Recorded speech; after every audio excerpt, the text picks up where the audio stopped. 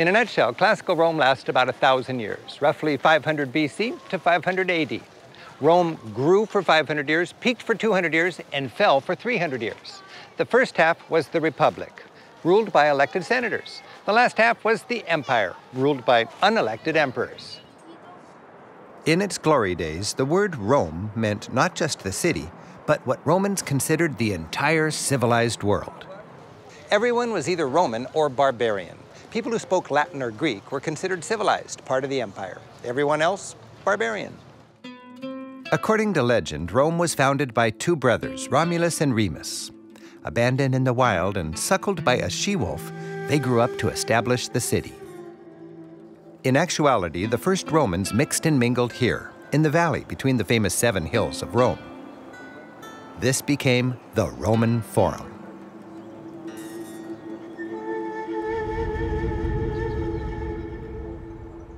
In 509, they tossed out their king and established the relatively democratic Roman Republic. That began perhaps history's greatest success story, the rise of Rome.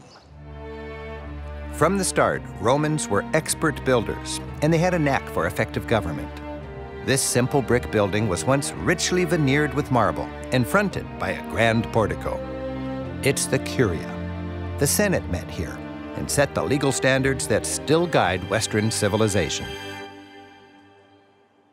The reign of Julius Caesar, who ruled around the time of Christ, marked the turning point between the Republic and the Empire.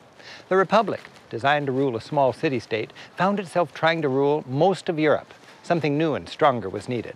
Caesar established a no-nonsense, more disciplined government, became dictator for life, and for good measure, had a month named in his honor, July. The powerful elites of the Republic found all this change just too radical. In an attempt to save the Republic and their political power, a faction of Roman senators assassinated Caesar. His body was burned on this spot in 44 BC. The citizens of Rome gathered here in the heart of the Forum to hear Mark Antony say, in Shakespeare's words, Friends, Romans, countrymen, lend me your ears. I've come to bury Caesar, not to praise him.